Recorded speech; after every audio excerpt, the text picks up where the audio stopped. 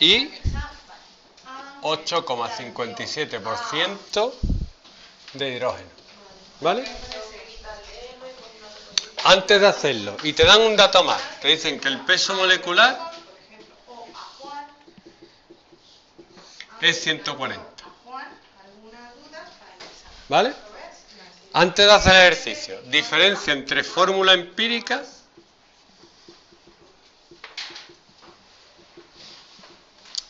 y fórmula molecular.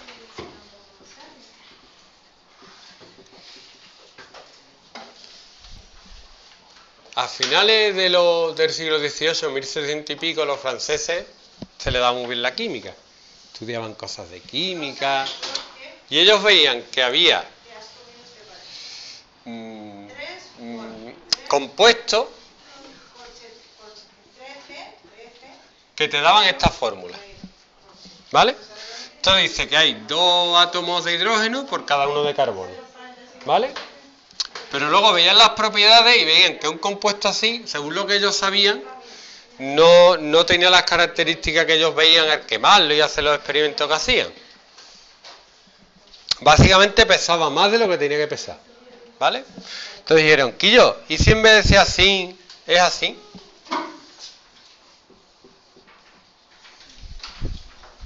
Y yo, es verdad, porque es verdad que aquí también esto es una cosa así. Me lo estoy inventando. Y este es una cosa así.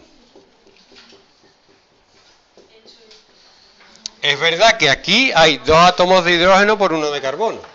Pero aquí también, por cada átomo de carbono hay dos de hidrógeno. ¿Vale? Esto es la fórmula empírica, la que te dice la relación entre los átomos, y esta es la fórmula molecular, la que te dice realmente qué número de átomos hay en la molécula. Y esto les costó pasar de aquí a aquí, le costó unos cuantos años. Y mucha gente sufrió un montón, se partía en la cabeza, hasta que uno dijo, ah, pues, vamos a probar, vamos a probar. Hostia. ¿Qué pasa? Que, por, e, que el peso molecular de esto, ¿cuál es? Esto sería 16, ¿no? 14 más 2, 16. Y de esto sería 32.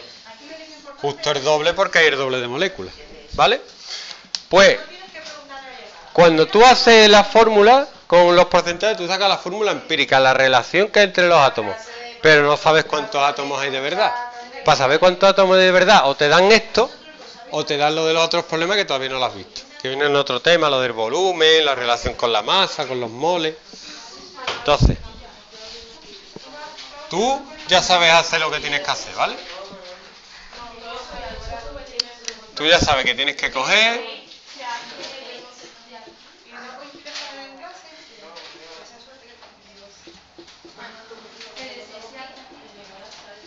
Tú ya sabes que tienes que dividir entre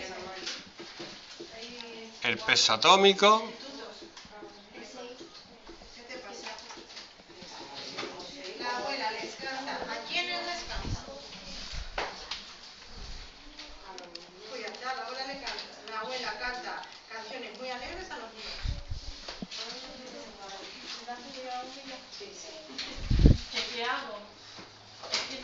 Ay, nitrógeno no es uno, ¿el nitrógeno cuánto es? 23, ¿no? Isaías, que no mires para atrás. Ven aquí, aquí todo lo que tienes que hacer. No, no que va. El nitrógeno no que pero que...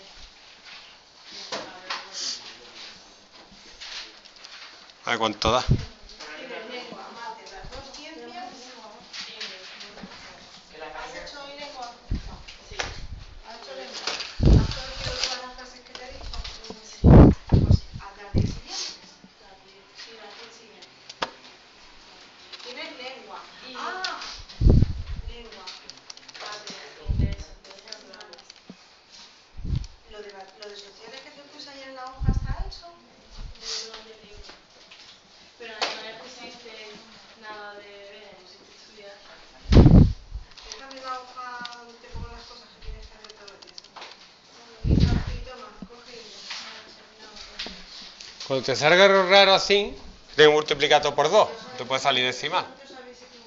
Pero, pero se multiplica por 2,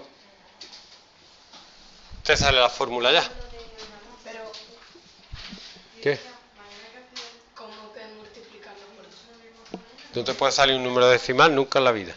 Vale, entonces multiplico todo por 2. Sí, porque este al multiplicarlo por 2 te da un número entero. Y los abajo también los tengo que multiplicar por 2. Mm, Para que sea proporción de números enteros. Y con esto, Y ahora viene mi duda. ¿Cómo ordeno yo eso? ¿El qué? Yo, por ejemplo, antes hice un ejercicio Mm, que mm, yo lo hubiese ordenado así tal y como me viene, en plan de 3, de 2, ¿vale? Pero en la solución me ponía otro. Cuando veas la formulación ya verás cuál es el orden normal.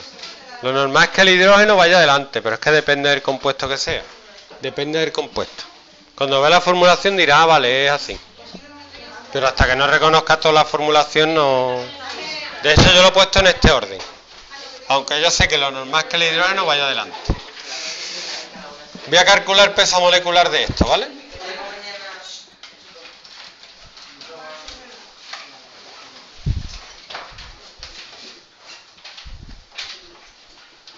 ¿Cuánto crees que me va a dar esto?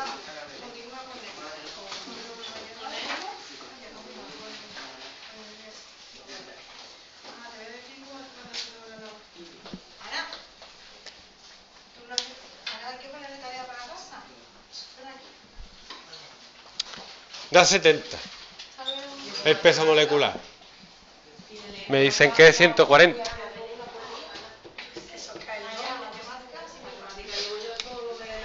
Entonces la fórmula tiene que ser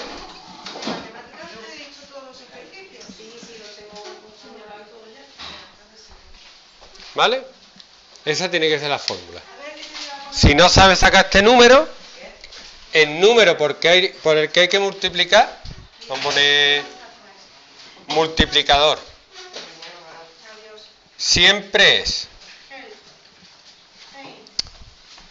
el peso molecular de la molécula entre el peso molecular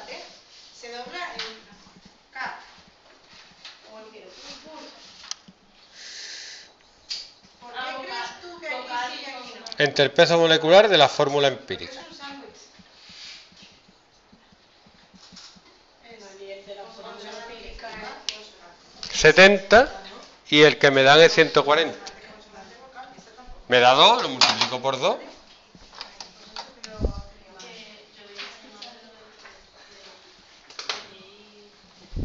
Pero cuando me pidan La fórmula molecular. la fórmula molecular, Te tienen que dar algo más, te tienen que dar esto. Dividirlo entre lo que te dé el peso de la fórmula empírica. Entonces, esa es la fórmula. Para sacar el número porque tienes que multiplicar. El peso molecular que te dan, enter de la fórmula empírica que lo puedes calcular tú. Y ese es el número porque tienes que multiplicar para que te dé.